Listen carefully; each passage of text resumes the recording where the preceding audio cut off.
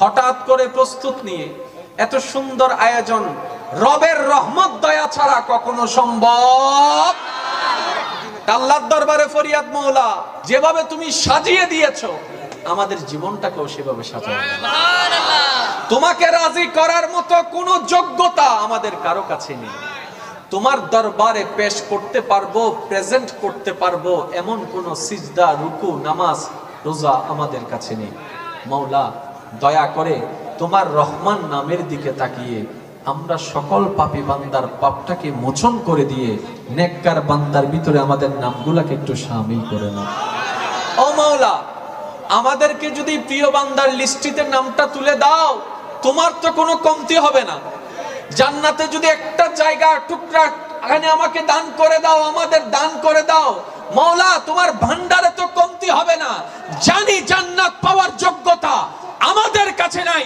যখন আমরা আমাদের চরিত্রকে, আমাদের গঠনকে, আমাদের জীবনকে যখন আমরা দেখি, আমরাই জানি জান্নাত পাওয়ার কোনো যোগ্যতা আমাদের কাছে নাই। কিন্তু মৌলা মনে বড় সাহস লাগে বর্ষা লাগে, যখন এটা শুনতে পাই, বুঝতে পাই, আমরা তো রহমানের বান্দা, আমরা তো রহিমের বান্দা, আমরা তো গফফারের বান্দা, আমরা তো সত্তারের বান্দা, আমরা তো এমন প্রভুর বান্দা যিনি ইন্নাল্লাহ আলা কুল্লি শাইইন কাদির, আমরা তো এমন রবের বান্দা যিনি কোন বললে ফায়াকুন হয়ে যায় মাওলা আমাদের আমলে বর্ষা নাই। তোমার দয়ার উপর বর্ষা আছে, তাই তো তোমার দয়ার বিকারী হয়ে হাসরে যেতে চাই। মাওলা তোমার দয়া গুণে আমাদেরকে জান্নাতি নসিব করে দিন গড়ির কাঁটার দিকে নজর দিলে দেখা যাবে ঘণ্টার কাঁটাটি একটা ছুঁই ছুঁই হয়ে গেল। যদিও ঘড়ির কাঁটায় একটা দেখাচ্ছে, শহরের হিসাবে একটাটা কিন্তু রাত বলে গণ্য। জোরে বলেন। গ্রাম অঞ্চলে এখন গভীর রাত। না ঠিকই বে ফরজ হইউ আজিন হইউ ঠিক না বেটি খাওয়া না গ্রাম অঞ্চলে এখন গভীর রাত। সিডেঙ্গা বাসা থলে দুই লাসা গুম শেষ। হ্যাঁ, দুই লাসা গুম। হদনে উনি হদ্দজুর হদ দিবে কি? দুই লাস আইবে কি কিছু কিছু সিডেঙ্গা মানছে ফুরানা মানছে বুঝে দেরি। কিন্তু শহরের দিকে তাকিয়ে যখন ঘড়ির দিকে তাকাবেন একটাটা তেমন কিছু। এখানে অনেক ছেলেরা আছে যারা ঘুমাইতে ঘুমাইতে দুইটা আড়াইটা তিনটা প্রত্যেক দিন বাজে। আচ্ছা আপনারা একটা আমাকে আওয়াজ দেন তো জায়গার তুলনায় মানুষ কি কম হয়েছে না বেশি হয়েছে? আওয়াজে শুনি নাই তো? না আর একটু আস্তে করে বলেন। আমি মানুষ দেখছি না আমি শুধু আশেক দেখতে পাচ্ছি। আর একটু জোরে। আল্লাহর বান্দা যারা আছেন, একবার বলেন মার হাবা আমি চোখে একটু জাপসা দেখল, কিছু কিছু দেখতেছি মনে হচ্ছে, ওই দূরও কিছু আশেক আছে মনে হয়। হ্যাঁ? ওরে ওনাদের ওনাদের জন্য আপনারা একবার বলেন মার হাবা কি কিপটে, তোমরা কি দিতে হই না? ইল্লে করে মার হাবা হইলে? আর কেন আস্তে করে হন আমার হাবা।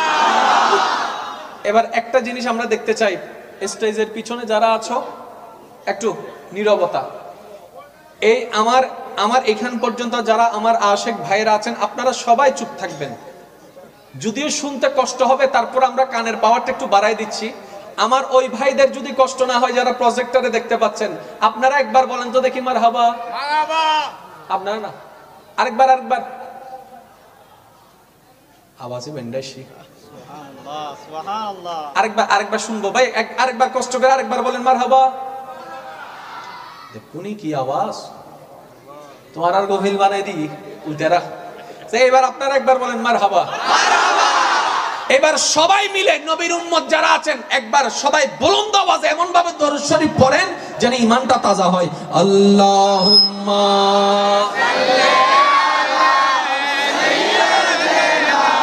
মাওলানা মুহাম্মদ ওয়ালা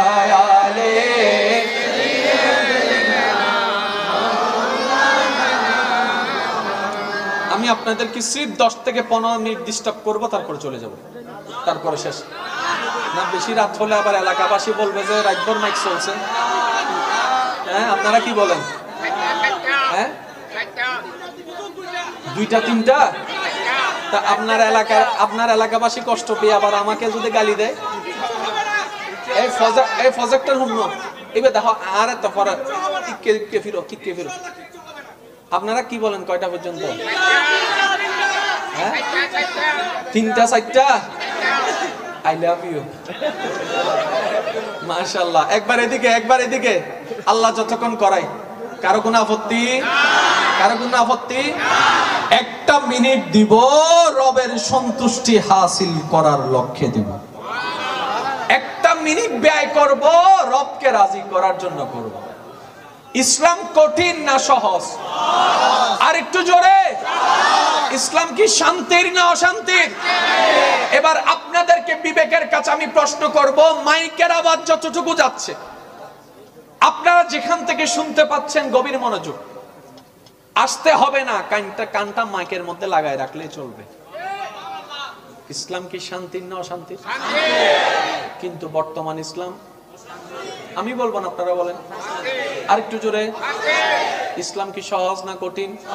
কিন্তু বর্তমান ইসলাম কে বানাইলো? আল্লাহ নবী কোরআন রসুল ফেরেস্তা কারা বানাইছে? আমরা একটু বলেন না। এবার আমি যদি জিজ্ঞেস করি, এই আমরাটা কারা? এত হবে আই নাও উইতে এই, একটু একটু। বিশেষ করে যারা স্কুল, কলেজ, ভার্সিটিতে মাদ্রাসায় পড়ালেখা করেছেন এবং করছেন, আপনাদের মনোযোগ আকর্ষণ করছি। ইসলামে আবেগও দরকার, বিবেকও।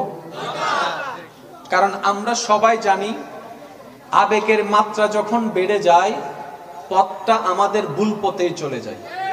অনেক যুবক, যুবতী ভাই বোনেরা দেখবেন প্রেমের সাগরে ডুব দিয়ে একটা সময় যখন অগঠন ঘটে গেল, সেই পাওয়ারটা, ব্যথাটা সহ্য করতে না পেরে অনেকে সুইসাইডের মতো সিদ্ধান্ত পর্যন্ত নিয়ে নিচ্ছে। অনেকে ফাঁস লাগাই দিচ্ছে, অনেকে সুইসাইডের জন্য ওষুধ খেয়ে ফেলছে, অনেকে বিষ খেয়ে ফেলছে। আমি জিজ্ঞেস করলাম, সবচাইতে দামি সম্পদ তো মানুষের প্রাণ, তুমি প্রাণটা দিয়ে দিচ্ছ কেন?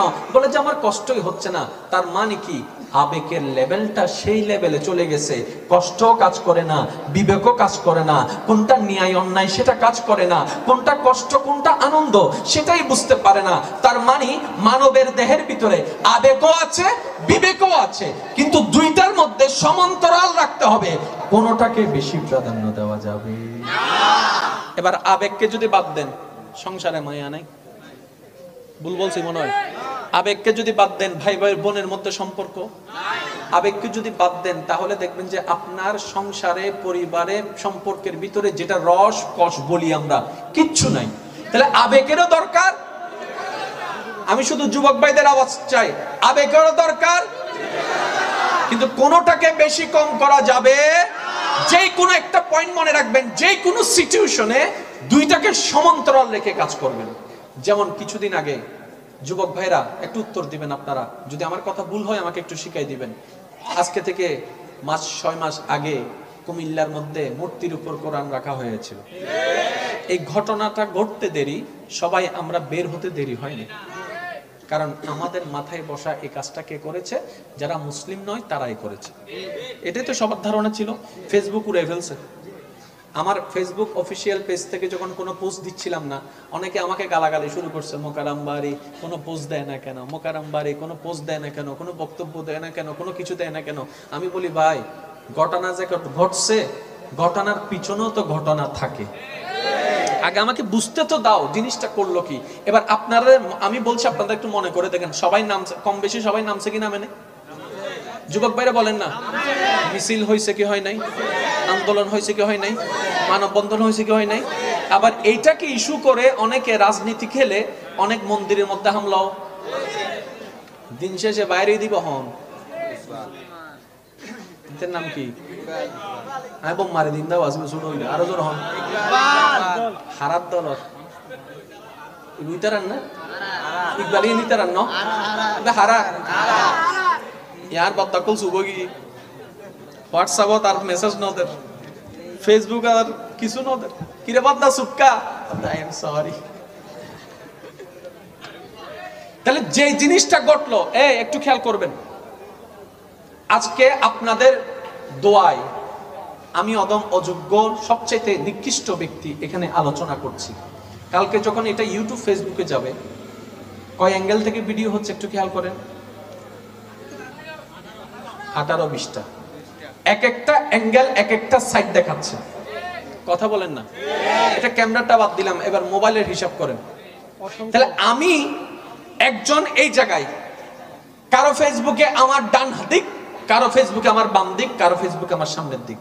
তার মানে বোঝা যাচ্ছে একজন মানুষকে ভিডিও করেছে দশজন।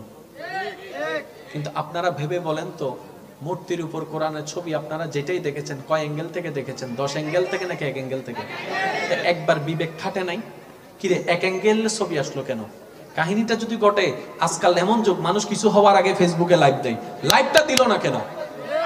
ছবিটা দশ অ্যাঙ্গেল থেকে হলো না কেন? নিশ্চয়ই কোনো না কোনো বেজাল আপনারা তো খেয়াল করেন নাই। নেমে গেছেন। আপনারা জানেন কি কাজ করেছেন আপনারা? আপনারা বুঝবেন না। যে কোনো কলেজ ভার্সিটির ছেলেদেরকে জিজ্ঞেস করেন, আমাদের এই অবুজতার কারণে ইন্ডিয়ার মুসলমানদের উপর অত্যাচার বেড়ে গিয়েছে? জিজ্ঞেস করেন, যে কোনো ছাত্রকে জিজ্ঞেস করেন, আমরা যখন এখানে নেমেছি, আপনি তো ইন্ডিয়ান নিউজগুলা দেখেন নাই। তারা যখনই নিউজ করে এমন ভাবে করে যেন বাংলার মুসলমানরা বিধর্মী ভাইদের উপর অত্যাচার করে। এবার সত্য মিথ্যা তারা যাচাই করে না। আপনার, আমার মতো আবেগী ওইখানেও আছে। এবার তারা